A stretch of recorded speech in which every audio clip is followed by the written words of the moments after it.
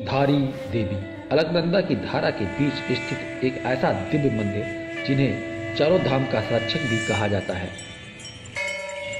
जिन पर ज़िम्मेदारी है चार धामों की रक्षा की, इतना दिव्य स्थान है जहाँ पर माँ गंगा व माँ धारी देवी का मिलन होता है। ये ऐसी जागृत देवी हैं जिनकी प्रसन्नता क्षेत्र में उन्नत लाता है और क्रोध प्रलय को। इनका भव्य स्वरूप प्रतिदिन तीन बार बदलता है। जब जब मनुष्य ने धारी देवी को, शक्ति को चुनौती देने की कोशिश की है, तब उसने बहुत भारी कीमत चुकानी पड़ी है।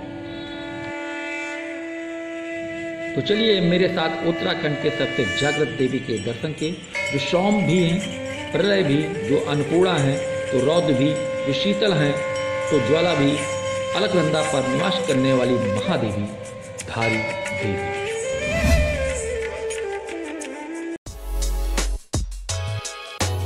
जो हमारे सामने नदी देख रहे हैं, ये है अलकनंदा नदी, जो बद्रीनाथ से आ रही है। हेलो दोस्तों, स्वागत करता हूँ अपने यूट्यूब चैनल में। आज हम जा रहे हैं हरिद्वार की ओर, जो बद्रीनाथ की तरफ़ से दर्शन करके आ रहे हैं।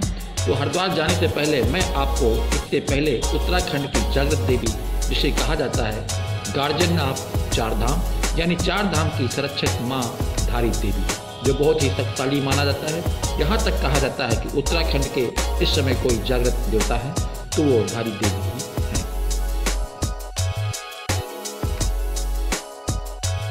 धारी देवी मंदिर पहुँचने से पहले मैं आपको रुद्रप्रयाग के दर्शन ऊपर से करा रहा हूँ।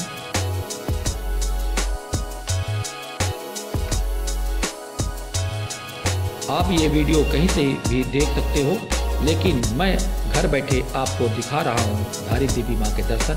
तो वीडियो को पूरा देखना और वीडियो को लाइक करना, चैनल को सब्सक्राइब ज़रूर करना और कमेंट्स में जय माता दी ज़रूर लिखना। मैं आ चुका हूँ कड़िया साल में, यानी जहाँ है धारी देवी मंदिर। इसमें मैं मुख्य द्वार के गेट पर आ चुका हूँ और मैं आपको नीचे की ओर ले चल रहा हूँ। जय हो धारी देवी। यहाँ से 500 मीटर की दूरी पर धारी देवी मंदिर स्थित है। चलिए मेरे साथ, अब मैं आपको नीचे की ओर ले चल रहा हूँ। अगर आप चार धाम जा रहे हो या फिर बद्रीनाथ धाम की ओर जा रहे हो तो यहाँ आप ज़रूर आइए। आते समय या जाते समय इस मंदिर के ज़रूर दर्शन करें। कहा जाता है कि अगर इस मंदिर के दर्शन नहीं किए तो चार धाम के दौरान तो आपकी चार धाम की यात्रा अधूरी मानी जाएगी, क्योंकि माँ धारी देवी को चार धाम का संरक्षक कहा जाता है। ये अलकनंदा नदी है और अलकनंदा के बीचों बाच में ये मंदिर है। बहुत ही खूबसूरत लगता है। ये उत्तराखंड के सबसे खूबसूरत मंदिरों में से इनकी गिनती की जाती है।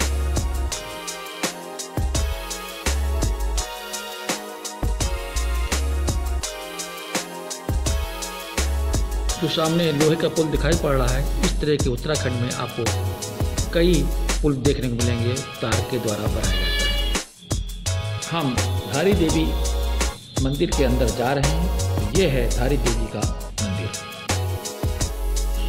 माता धारी देवी बेहद चमत्कारी देवी है। कहा जाता है कि ये दिन में तीन बार अपना स्वरूप बदलती है।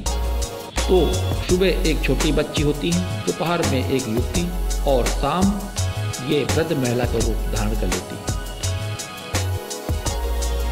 यहाँ देखिए, बहुत सारी घंटी आपको मिलेंगी। जिन लोगों की मनोकामना पूर्ण होती है, तब यहाँ लोग घंटी बाँध कर जाते हैं। दोस्तों, धारी देवी को चार धामों की संरक्षक माना जाता है।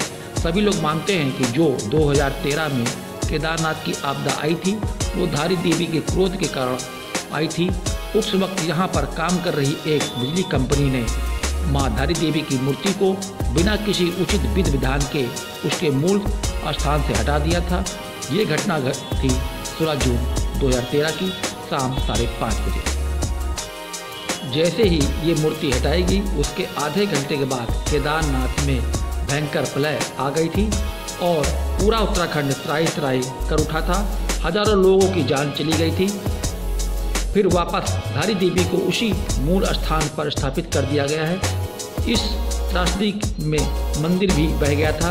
इसीलिए सभी लोग धारी देवी को बहुत ही बड़ी आस्था है। कोई ऐसा काम नहीं करते हैं जिससे कि धारी देवी को पूरा क्रोध आ जाए।